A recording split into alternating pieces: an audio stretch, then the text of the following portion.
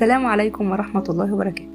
النهاردة في حلقتنا الجديدة من برنامج تيلي سينما اخترت لكم الفيلم التركي Miracle in Cell Number 7 أو معجزة في الزنزانة رقم 7 الفيلم من أجمل الأفلام التركية اللي اتقدمت في العصر الحديث.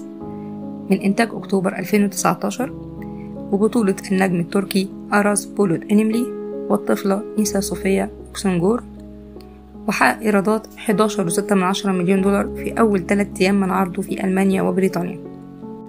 الفيلم بيحكي عن قصة حياة محمد أو ميمو بيعاني من إصابة ذهنية وهو من أصحاب الهمم اللي عنده طفلة صغيرة اسمها أوفا عندها ست سنين وبيقوم برعايتهم الجدة فاطمة ووالدة أوفا اتوفت وهي بتولدها اللي هي عائشة.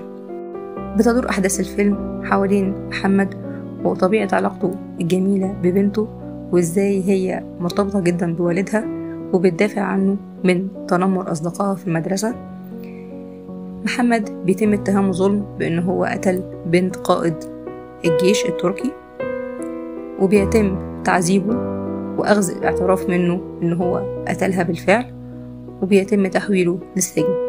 بيتعاطف معاه مدير السجن وزملائه في الزنزانة رقم سبعة أول لما بيدخل معاهم الزنزانة بيكونوا طبعا حاقدين عليه وإن هو قتل بنت صغيرة فبيضربوه وبيعملوه وحش في, في البداية لكن مع الوقت لما بيعاشروه وبيعرفوا قد إيه هو إنسان طيب وحنين وإنه استحالة يكون ارتكب هذه الجريمة فبتتغير معاملتهم ليه.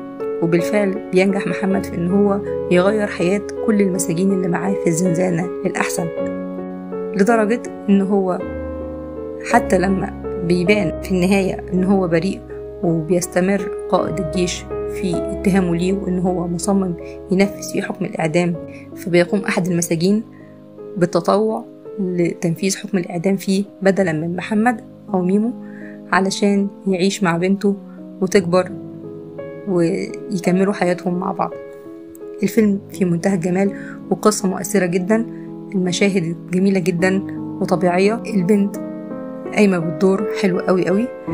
مشاهد تعاطف البنت مع والدها وتعاطف مدير السجن والمساجين مع البنت. جميلة جدا جدا.